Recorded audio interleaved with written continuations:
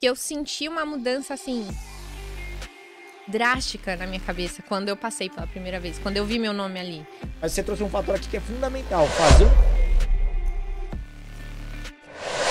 Então, uma coisa que pra mim era impossível, que era tipo você chegar ali entre os primeiros e tal. Quando eu vi que dava, né? Quando eu vi meu nome ali, eu comecei a encarar os estudos, inclusive, de outra forma. Então, eu comecei a ver sentido, sabe? Eu falei assim, não, então pode ser que quando sair de auditor fiscal, eu também consiga. Por mais que tenha o contador ali no meio, vai ter o, Você o tributário. confiança, foi Eu grandona. criei, é, mas não é tanto.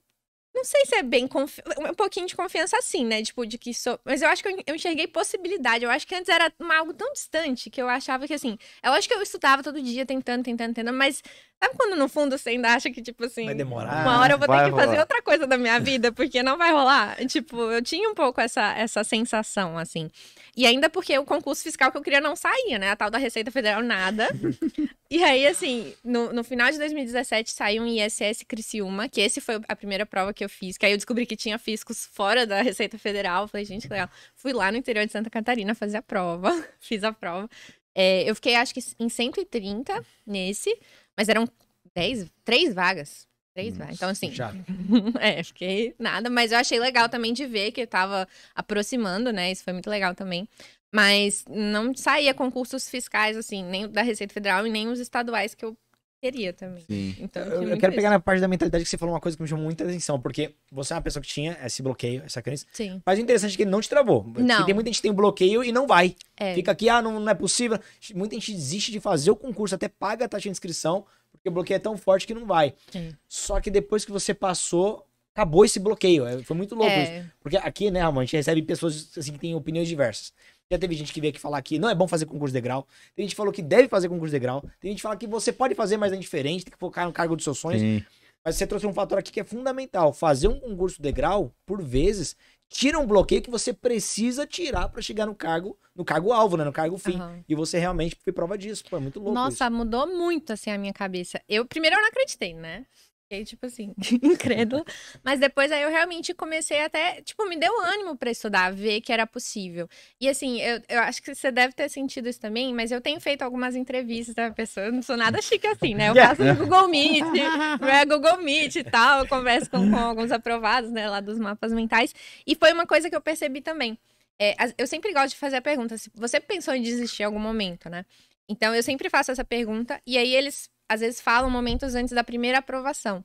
Mas sempre depois que eles passam em um concurso degrau, às vezes um bom, né, que eles já é bem bacana, mas eles tinham um outro sonho antes. Eu penso, mas por que você não pensou às vezes em ficar nesse e, né, desistir desse outro que é- tá tão difícil e tal? Ele falou assim: "Não, porque eu entendi que era questão de tempo". Então, assim, eu percebi isso, que depois que ele passa em um primeiro, ele ganha essa confiança, né? Ele vê que é possível passar. E aí eu acho que isso dá um combustível, assim, bem legal. Sai um dúvida. peso das costas, né? De você, puta, é isso que nunca vai rolar. Aí rola um e fala assim, pô, dá, Dá, é né? Que dá, que possível. dá. É, É o que você falou, às vezes, daqui a pouco vai. às vezes além da confiança, é mais a questão de destravar aquela possibilidade. Se é Isso. possível, é só pagar o preço. É. Ponto. E aí, por exemplo, todas aquelas outras crenças de tipo, ah, é, é, você passa por sorte, né? Ah, Fulano deu sorte e tal. Aí eu fui ver, tipo assim, não, as que eu não sabia, eu errei mesmo.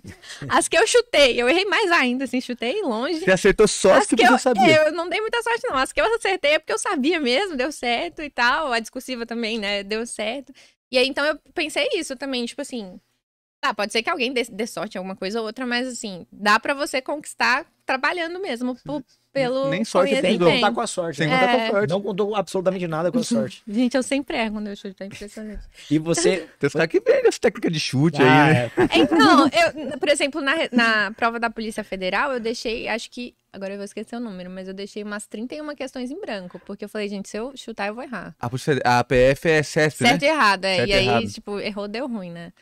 E eu, se eu chuto, eu tudo. É, era bom não contar com a sorte. É melhor eu tentar chutar e falar, não, eu vou pôr então aqui, eu acho que não é. E, tipo, pra ver. comprar. Mas aí eu vou Apostar. acabar errando também. É igual né? jogador ruim, só faz gol quando erra. Quando É chuta errado, faz o gol. Quando ele faz certinho, ele erra.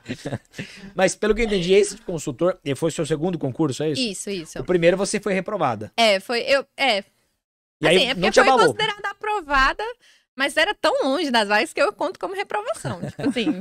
E não que- te abalou em absolutamente nada, tava dentro do jogo Ah, ali. não, eu já sabia que não ia rolar, assim. Eu, eu tava. estudando há 10 meses ali para a área fiscal. A área fiscal tava passando meio que por uma seca ali em 2017, né? Foi logo depois de uma leva de concursos.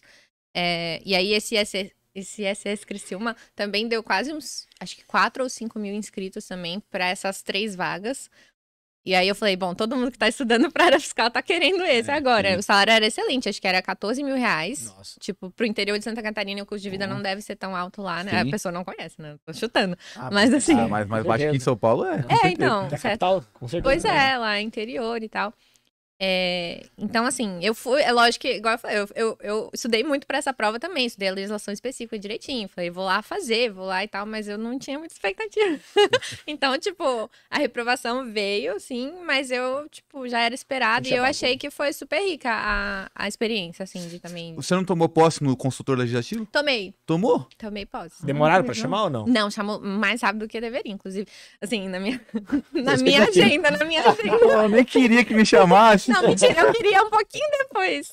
Gente, essa história do, do consultor legislativo foi. O que, que aconteceu? Eu